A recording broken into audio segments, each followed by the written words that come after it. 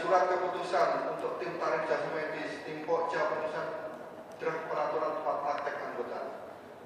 Kemudian surat permohonan klarifikasi akademis ke kolegium untuk dokter asing dalam rangka bakti sosial. Oke, terima kasih.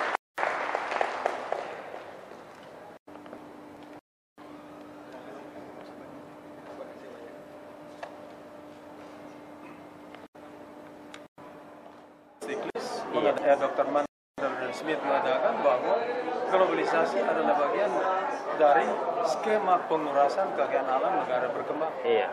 Jadi siapa persen Indonesia yang bisa sampaikan dari sudut disiplin strategi kita bersiap.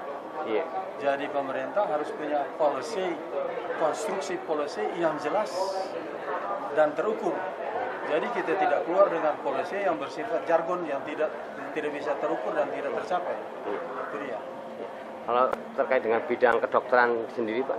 Oh, Iya. jadi kalau bilang kedokteran ini itu adalah satu pilar sebetulnya kita mesti sadar itu pilar yang penting. Oleh karena di dalam bernegara ada satu jargon yang sudah lama kita hafal. Mensana in corpore sano kan? Iya. Dalam tubuh yang sehat dapat jiwa yang sehat. Nah, kalau kita bicara di dalam ketahanan kesehatan nasional, kita perlu tanya siapa stakeholder di situ. Itu dia.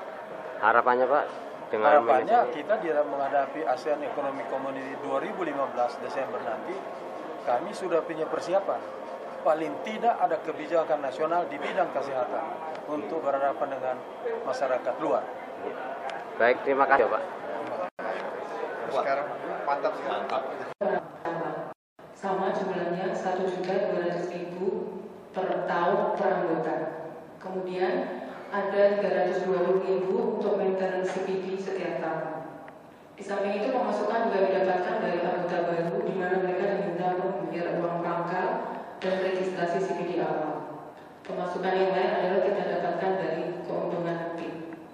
Dengan asumsi bahwa keuntungan PIN minimal kurang lebih sekitar 100 juta, pemasukan DKI Jakarta 61, Sumatera Utara ini terdiri dari Sumatera ada 17 semuanya terdiri dari Banda Aceh satu orang, Medan 8, Palembang 4, Pekanbaru 2, Padang 2, Lampung Tengah Batam 1. Ada 11 orang, Semarang 5, Solo 4, Jogja 2, Jawa Timur dan Bali ada 32 orang, Surabaya 23 orang, ini separuh dari Jakarta. Malang 4 orang, Denpasar Bali 5 orang. Cabang Sulawesi Selatan terdiri dari jam berapa supaya kita bisa putuskan selesai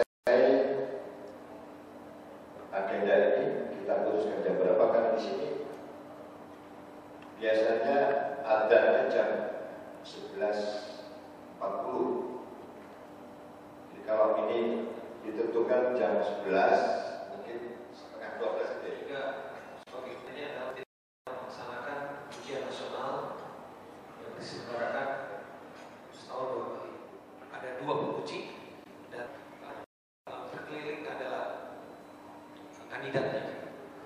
Dibikin pada satu pos kamar per kamar ada dua penguji dan dan ada pasien. Kita selalu upaya- mengupayakan bahwa setiap ujian ada ada pasien yang bisa dipakai sebagai serangkan ada program studi baru di berapa waktu itu kita Bandung memang sudah sejak lama 2004 2007 untuk Kisono menjadi kolegium sudah mempersiapkan Bandung. Sorry hampir 10 tahun menjadi tidak pasti apakah bagaimana cara saya untuk mendapat gelar konsultan? Terima kasih. Pendidikan kedokteran lebih mudah kalau kita mau mengejar ketinggalan kita di bidang-bidang katakanlah memperbanyak pendidikan spesialis, bedah plastik dan subspesialis. Karena di sana hanya disyaratkan bahwa tadi Prof. David menyebutkan bahwa yang akreditasi tertinggi adalah universitas. Kalau menurut saya bukan universitas tetapi fakultas kedokterannya akreditasi akreditasi tertinggi fakultas kedokterannya harus A untuk bisa membuka.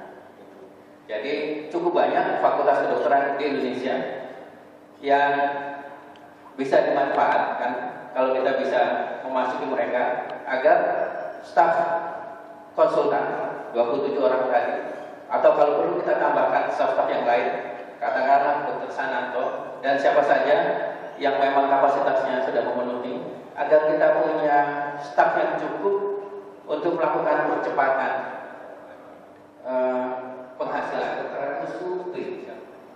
Tetapi kira-kira tiga bulan yang lalu atau dua bulan yang lalu sudah ada redasi ulangan yang sampai sekarang belum ada hasilnya. Kami masih menunggu. Tetapi sebenarnya ketika diterbitkan surat keputusan pembukaan program studi oleh Rektor Universitas Sumatera Utara. Ketika itu belum ada aturan bahwa uh, fakultas kedokterannya harus A. Karena surat keputusan Rektor itu adalah 23 Agustus 2012 kemudian memudahkan tentu saja juga bisa lebih bermudah dengan lebih sulit. Tapi terima kasih kami sampaikan pada Prof. David bahwa memang dan plastiknya adalah dari FKU. Itu tidak hanya di bidang kedokteran, seluruh studi yang ada di seluruh seluruh kita betulkan lagi ya. Kalau untuk izin praktek, surat izin praktek dokter bedah plastik Indonesia Iya. di Indonesia itu kita tidak perlu izin sampai ke Menteri Perdagangan, tapi dari eh, perhimpunan bedah plastik, lalu ke ID wilayah, lalu ke Dinkes di setempat keluarlah surat izin praktek.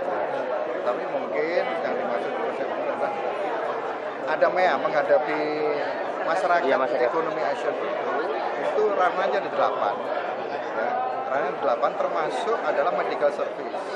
Medical service itu adalah pengobatan ya lalu ada kedokteran gigi sama ras kemudian lainnya itu ada agriculture arsitektur dan sebagainya. Ada delapan nah ini nantinya kita berharap eh, ya serahkanlah kepada perhimpunan eh, regulasinya dan sebagainya sehingga betul-betul bisa kita saring kalau memang itu sudah menjadi eh, apa namanya peraturan dan kita harus melaksanakan kita saring eh, dokter-dokter bedah plastik yang dari luar negeri itu apakah memang betul dokter bedah plastik bukan seorang dokter bedah plastik eh, apa pas, palsu gitu ya palsu Iya.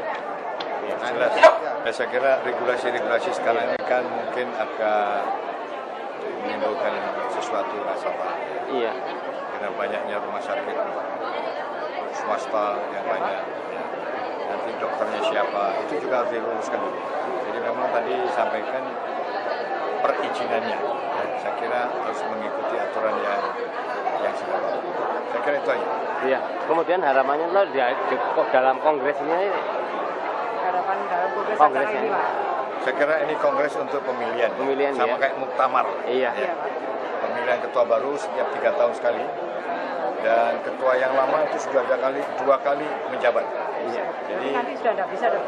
ya kayaknya itu jadi ganti kemudian ketua kolegium dan juga ketua dewan kehormatan majelis kehormatan tapi juga ada beberapa hal yang perlu disampaikan tadi mengenai regulasi Regulasi untuk Ya. peri, iya. untuk Terutama dokter-dokter yang baru spesialis Iya. atau apa bagaimana mengatur saya kira itu aja intinya barangkali ada bisa ditambahkan. Jadi harapan saya dalam Ya. kongres dan fit pertemuan tahunan ke-19 Prabu ini, yang pertama bisa menambah pengetahuan dari para anggota, keterampilan, ya, dan tentunya silaturahmi ini juga penting di antara Iya. pada plastik Indonesia sehingga kita solid di dalam menangani kasus-kasus. Yang berikutnya untuk kongres ke-10 ini, ya, ini adalah alat organisasi Prabi. Jadi setiap tiga tahun kita harus melakukan kongres untuk berbicara, ya pertama ya pemilihan ketua anggota, ketua Prabi, kemudian ketua kolegium, ketua majelis kehormatan, dan eh, tadi disampaikan Prof. Syafruddin eh, beberapa hal yang penting untuk eh, organisasi nanti dilakukan di kongres dan Iya. itu kedudukan kongres itu hasil kongres itu adalah di ADART jadi harus dilaksanakan oleh para anggota dalam waktu dari section. Ya. Ya, saya kira eh, sama saja yang sudah disampaikan oleh Prof. Saifuddin dan Dr. Asrofi. Jadi eh, kita harapkan untuk selanjutnya eh, kegiatan ini juga masyarakat luas mengetahui bahwa beda plastik dan rekonstruksi maupun estetik adalah eh, ranah yang harus diupdate terus dan kami biasanya eh, melakukan eh, pertemuan ilmiah tahunan ini setiap tahun itu eh, berpindah kota. Jadi mungkin saat itu juga kita juga seperti kemarin kita adakan workshop ya Iya. untuk eh, para dokter-dokter yang berminat, dokter umum untuk mengetahui bagaimana teknik yang benar ya mengenai cara menjahit yang baik, memberikan cara estetik-estetik modalitas yang baik, yang benar dan tidak apa berbahaya bagi masyarakat. Ya. Kita kebetulan eh, kita terdaftar sebagai anggota Prapi. Ha-ha. Setiap setahun sekali eh, ada PIT ya pekan ilmiah tahunan yang diadakan di tempat secara bergiliran. Nah, tahun ini jatahnya Surabaya.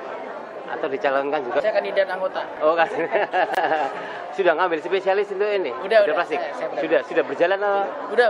Sudah lulus ya? Udah lima tahun saya praktek. Di sini satu ajang ketemuan antara yang tua muda ya, kan kita nggak setiap hari ber- ber- berkumpul juga ya. jadi ada ada unsur silaturahmi ada unsur update nya yang penting ada unsur pendidikan yang yang uh, coba disinergikan perkembangan-perkembangan terbaru dan juga uh, apa namanya saling saling berbagi lah Iya, berapa hari rencana kerja di sini, Mas? saya sampai sabtu Sabtu berarti Sampai Sabtu. ikutin rekaman dong. ya.